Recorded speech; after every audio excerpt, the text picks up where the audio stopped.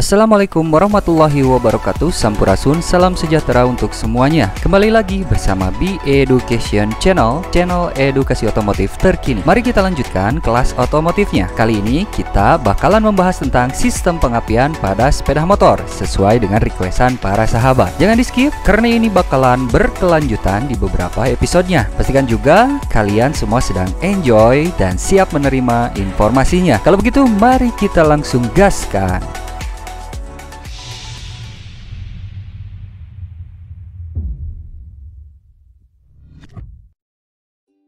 Kita mulai dari penjelasan dari isi video kali ini. Di episode ini, kami akan membahas tentang sistem pengapian secara umum terlebih dahulu pada unit sepeda motor, di mana selanjutnya akan dibahas tentang fungsi, syarat efisiensi, jenis, dan komponen dari tiap jenisnya. Kami buka terlebih dahulu dengan penjelasan dan fungsi dari sistem pengapian.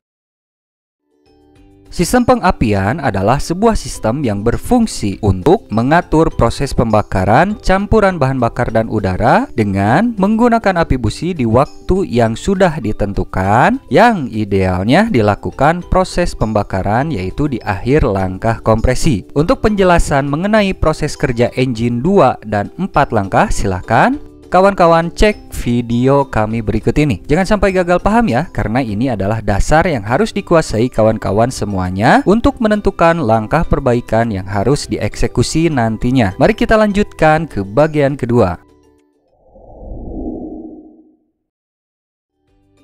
Untuk mencapai efisiensi yang baik, sistem pengapian haruslah atau wajib memiliki syarat yang harus dipenuhi, yaitu yang pertama adalah tekanan kompresi yang sesuai, yang artinya tekanan kompresi ini tidak boleh terlalu tinggi ataupun terlalu rendah dari standarisasi sistem bawaannya. Jadi, maksudnya kita membahas semua hal ini sesuai standarisasinya terlebih dahulu ya. Untuk perubahan atau kustomisasi akan dibahas di video yang berbeda. Yang kedua, waktu pengapian yang tepat, yang artinya waktu pengapian tidak terlalu cepat dan tidak pula terlalu lambat. Oke, kami berikan sedikit informasi tentang diagram pembukaan katup berikut sebagai dasar pemahaman waktu pengapian.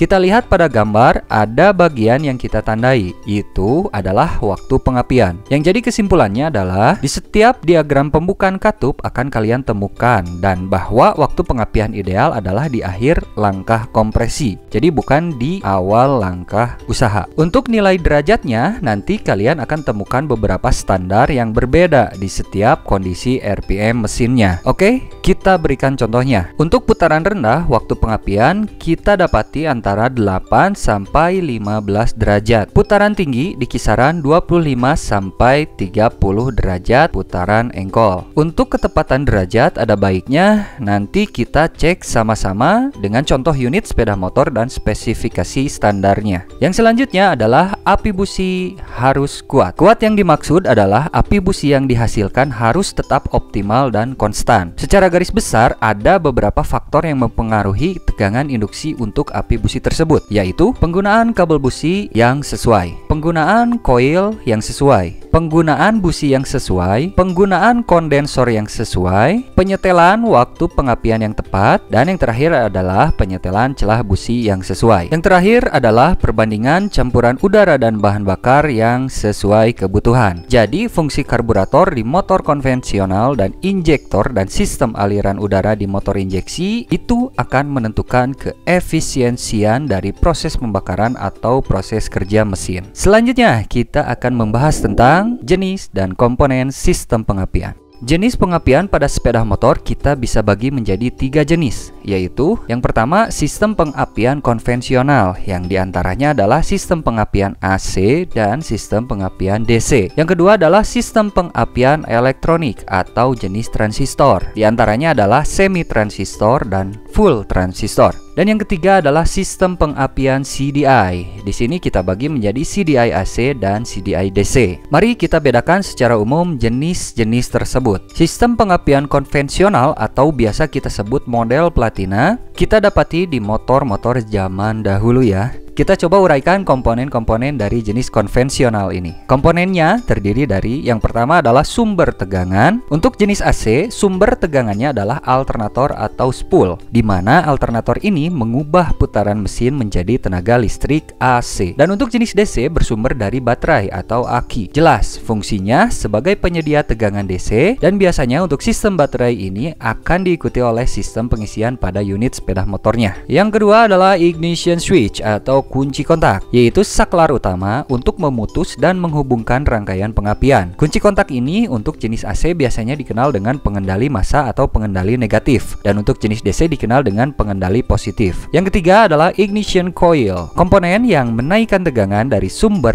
menjadi tegangan tinggi yang dibutuhkan oleh busi. Tegangan yang dihasilkan adalah hasil proses isi komponennya yang berupa kumparan primer, kumparan sekunder, dan lain-lain. Yang keempat adalah kontak breaker dan breaker cam atau kita lebih mengenal dengan nama platina dan knock platina. Platina berfungsi sebagai trigger di mana platina ini memutuskan dan menghubungkan arus listrik yang mengalir pada kumparan primer yang bertujuan untuk membangkitkan tegangan tinggi pada kumparan sekunder dengan cara induksi elektromagnetik. Sedangkan breaker cam berfungsi untuk mengatur waktu pembukaan dan penutupan dari platina tersebut. Yang kelima adalah kondensor, yaitu komponen yang berfungsi untuk meredam atau menyerap loncatan bunga api pada platina yang terjadi pada saat kontak platina terbuka, yang bertujuan untuk mempercepat pemutusan arus primer tadi. Yang terakhir adalah spark plug atau kita sebut yaitu busi, mengeluarkan arus tegangan tinggi berupa loncatan bunga api atau percikan bunga api melalui elektrodanya. Busi terdiri dari berbagai macam komponen di dalamnya dan busi dapat kita bedakan jenisnya dari temperatur ruang bakarnya yaitu busi dingin dan busi panas. Kemudian jika kita lihat dari bahannya, maka kita dapati ada busi platinum, busi iridium, busi silver, dan lain-lain. Selebihnya akan kita bahas di video yang berbeda ya. Sementara ini kawan-kawan bisa cek terlebih dahulu di short video kita yang menginformasikan jenis busi dalam berbagai aspek. Coba cek untuk tambahan informasinya. Kita lanjut dulu ke komponen sistem pengapian elektronik. Untuk semi transistor masih menggunakan platina. Ingat ya, untuk semi transistor masih menggunakan menggunakan platina. Fungsi platina diganti dengan fungsi yang bernama transistor. Untuk platina di jenis semi transistor ini hanya berfungsi sebagai saklar yang memutuskan dan menghubungkan arus ke transistor. Sedangkan transistor di sini berfungsi sebagai saklar arus primer coil. Jadi yang berhubungan langsung dengan primer coil adalah transistor. Untuk komponennya hampir sama dengan jenis konvensional, akan tetapi tambahannya adalah unit transistornya. Oke, sekarang kita masuk ke jenis full transistor. Jenis ini tidak menggunakan platina, yang artinya jenis ini murni pengapian elektronik. Dan tambahan komponennya kita dapati ada unit pickup coil. Itu berfungsi untuk mendeteksi waktu pengapian yang dikirimkan berupa sinyal ke bagian igniter unit. Di mana igniter unit tersebut terdiri dari transistor,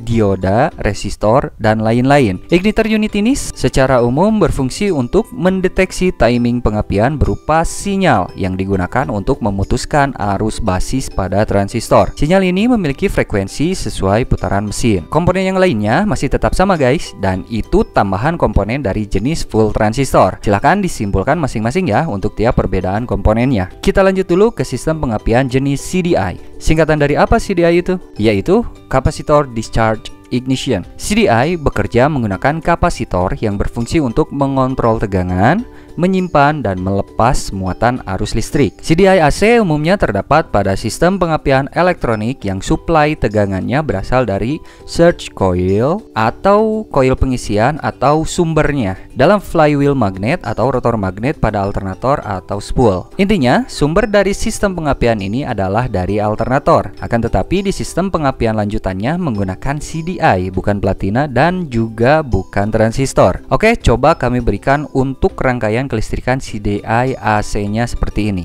Kita temukan komponen di sana ada exciter coil atau surge coil, kemudian ada CDI unit yang berisi thyristor, trigger, dioda, dan kapasitor. Selanjutnya, coil dan busi. Untuk proses kerja di tiap-tiap jenis sistem pengapian akan kami coba bahas di video yang berbeda ya. Kita lanjut terlebih dahulu ke jenis CDI DC. Untuk jenis DC sudah jelas, sumbernya berasal dari baterai atau aki. Prinsip dasarnya seperti ini. Coba kami sandingkan dengan gambar rangkaiannya ya. Baterai mensuplai tegangan 12 volt ke inverter yang terdapat di unit CDI. Inverter akan menaikkan tegangan menjadi 350 volt kurang lebih. Tegangan tersebut diisikan ke kondensor atau kapasitor dan akan di-discharge ketika diberikan sinyal oleh pickup coil. Seperti biasa, hal tersebut dibutuhkan oleh primer coil untuk membangkitkan sekunder coil. Jadi seperti itu kawan-kawanku yang luar biasa. Mohon maaf kalau pembahasannya sedikit bikin puyeng ya.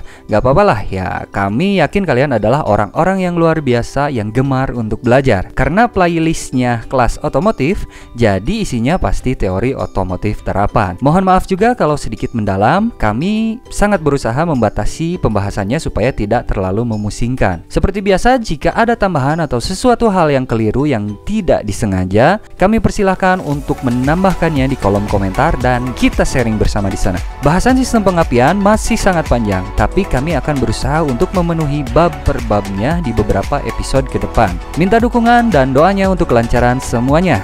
Jangan di-subscribe jika tidak bermanfaat, dan silahkan subscribe jika terasa manfaatnya. Terima kasih semuanya, sehat selalu. Berjumpa kembali di video selanjutnya. Wassalamualaikum warahmatullahi wabarakatuh. Sampurasun, salam sejahtera untuk semuanya.